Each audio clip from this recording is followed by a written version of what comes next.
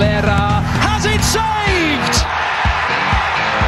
Redmayne is their hero! Valera